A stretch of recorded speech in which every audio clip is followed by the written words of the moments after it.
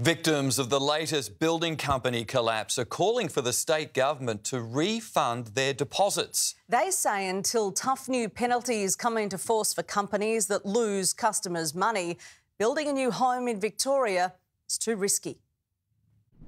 Facing an uncertain future, their plans of dream homes on hold.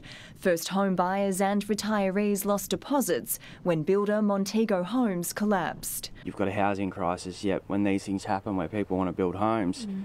we can't. You know, we can't just turn around and find 20 grand extra tomorrow and go to a new builder. They want the same treatment as victims of the Porter Davis collapse, who had their money refunded by the state government. That scheme is only open to Victorians whose builders went bust last year. This issue, it didn't end in the last financial year, it's happening still now, and we're just devastated about it. Builders are required by law to take out insurance on deposits, but administrators say 63 Montego customers weren't properly insured.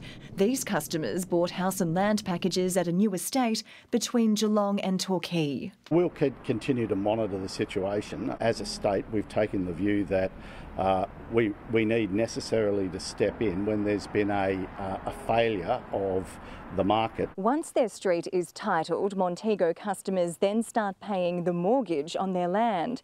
At the same time, many are paying rent while trying to save a deposit for a new builder.